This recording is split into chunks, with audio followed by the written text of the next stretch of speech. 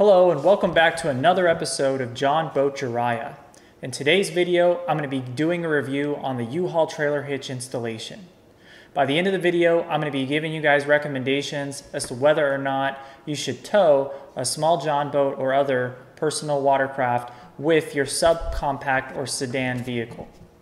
Now, some points to take into consideration are these vehicles are not intended or engineered for towing purposes. What that means is the suspension, the braking system, the powertrain, those components uh, are not engineered for that purpose.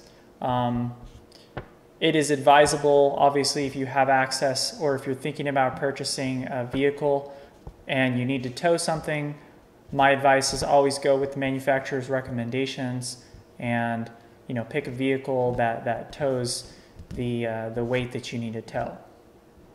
With that being said, um, not all of us, you know, can can do have access to those kinds of vehicles. I did recently have to sell my Ford F-150, and um, I traded it for a commuter vehicle. Um, and I do need to be able to tow my small jon boat.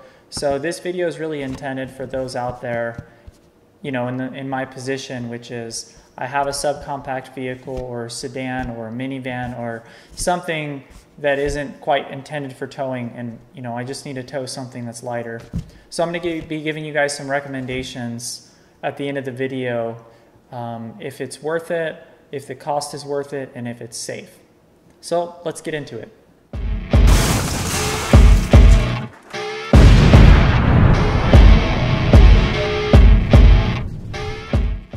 So I started my journey on the U-Haul website. I placed an order through uhaul.com. Uh, went through the process of selecting the, the different components. Wasn't really even sure why I had different options here, but I just kind of went through uh, the selection process. Now there was only one available location, which was actually about 45 miles from my home, so not super convenient. So three weeks later, I receive a call from a U-Haul representative and I schedule my installation and it goes pretty smoothly. Now when I get the bill, it's about $431, $150 of that being labor. I was kind of shooken about that price, but I went ahead and went through with it. Overall, satisfied with the installation. Uh, looks like they bolted the uh, trailer hitch to the frame of the Chevy Sonic. Now onto the fun part. So actually, uh, putting the boat onto the trailer hitch was fairly easy.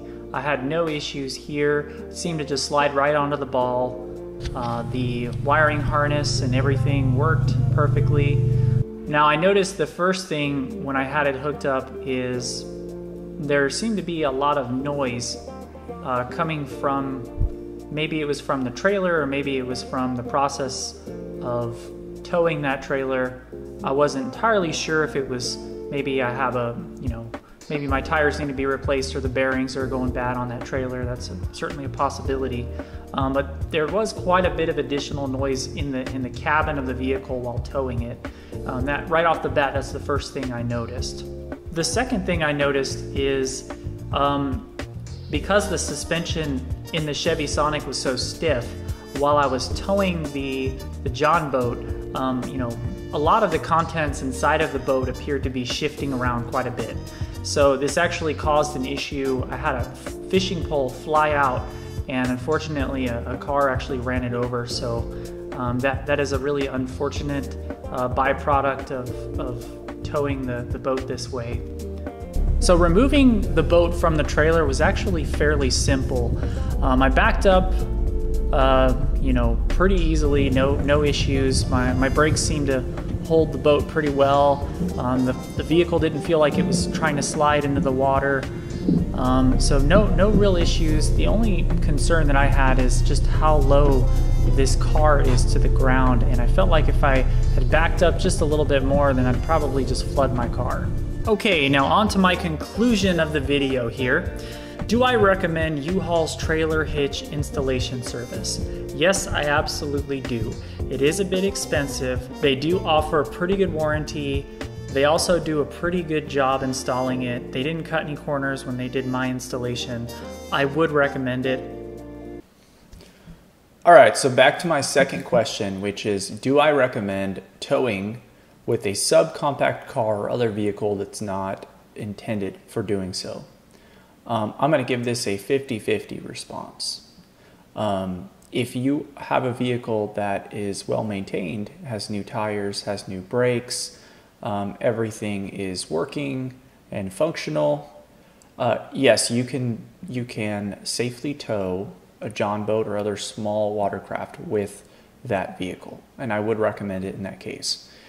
If you have a vehicle that is older, um, has you know worn out tires, maybe uh, the brakes haven't been replaced in a while, then it's it's not a good idea. Um, you should probably uh, use a different vehicle for it.